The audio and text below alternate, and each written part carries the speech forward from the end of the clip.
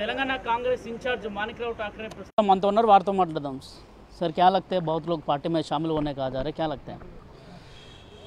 बहुत लोग कांग्रेस प्रेसिडेंट से राहुल जी को मिलने के लिए आ रहे हैं।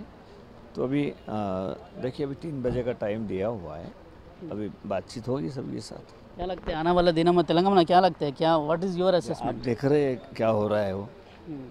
कांग्रेस जिस तरीके से जिस सभी का विश्वास कांग्रेस पार्टी के ऊपर आ रहा है और कांग्रेस पार्टी एक चुनाव में पूरी तरह हमने तैयारी की है सब लोग अभी जुड़ रहे हैं।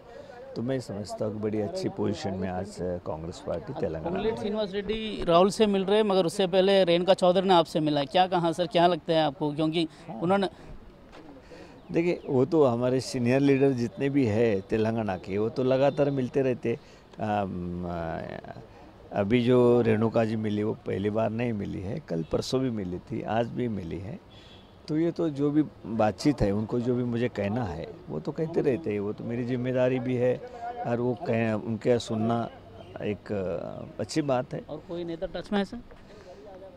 अभी अभी देखिए आगे आगे क्या होता है लेकिन कांग्रेस मजबूती के साथ आगे बढ़ रही है जनता का विश्वास बढ़ता है Congress thank you thank you ఇది ఓవరాల్గా ఆ, కాంగ్రెస్కి సంబంధించి ముఖ్యంగా చాలామంది నేతలు తమకు టచ్లో ఉన్నారనేది కూడా మణికరావు ఠాక్రే చెప్తున్నారు పొంగులేటి శ్రీనివాసరెడ్డి ఈరోజు రాహుల్ గాంధీని కలుస్తున్నారు అందులో ఆంతర్యం అయితే ఏమీ లేదు రేణుకా చౌదరి నుంచి కూడా ఎట్లాంటి ఇబ్బందికరమైన పరిస్థితి లేవనేది కూడా ఆయన స్పష్టం చేస్తున్నారు రానున్న రోజుల్లో మరింత చేరికలు ఉంటాయని కూడా చెప్తున్నారు వీడియో జర్నలిస్టు శ్రీనివాస్ రెడ్డితో సతీష్ శేబనంద్రతి న్యూఢిల్లీ